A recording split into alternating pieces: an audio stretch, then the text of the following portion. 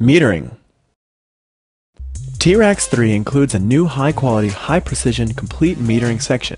This includes a precision 3-scale peak meter, a real perceived loudness meter, phase scope and phase correlation, a spectrum analyzer with peak, RMS, and averaging indications, and an RMS meter. Peak meter.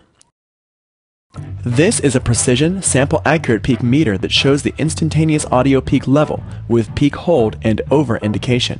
Numerical values for peak hold values are shown at the right of the bar graph. The peak meter can work on three scales, selectable by clicking on the settings button and selecting the peak meter section. Minus 90 through 0 dB scale is very wide and is good for general purpose peak level representation. Minus 50 through plus 5 dB scale has reduced range on low levels and can be useful to monitor higher than 0 dB levels. Minus 60 through 0 dB scale has a zoom at the high portion of the scale so that the upper 8 dB spans over the last half of the scale. This is very useful to keep the top of the available headroom under control.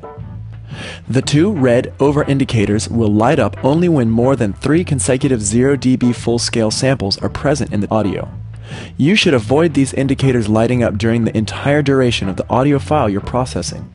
You can ensure this by using the brick wall peak limiter and lowering the ceiling value to minus 0.1 or minus 0.2 dB, or by enabling the DA distortion protection in the preferences. Perceived loudness. The perceived loudness meter is a very valuable tool not commonly found in software applications. Its main purpose is to give reliable information about the effective sense of loudness a song or audio in general delivers to the listener. It works by combining accurate averaging and frequency weighting on the program and can be trusted to deliver accurate information on how loud the song will appear. Note, both left and right channels are combined into the same display. The loudness suggested area shows loudness suggestion and can be selected by genre in the settings menu. This is the area where most commercial productions peak during their loudest passages. The green area indicates where most loud passages should normally peak, while the red area indicates where most loud passages peak in extreme conditions or on very loud masters. RMS this is a standard precision RMS meter that will give important information about the power of the audio signal. Typical loud masters peak on the RMS meter at minus 9 or even minus 8 dB, but this does not always mean high loudness because the RMS meter is flat in frequency response, therefore can be driven very high by songs where there is a very strong low frequency content. Using the perceived loudness meter together with RMS will give you the best picture. Phase the phase scope included in T-RackS 3 behaves very closely to those you usually find on high-end metering devices or on consoles.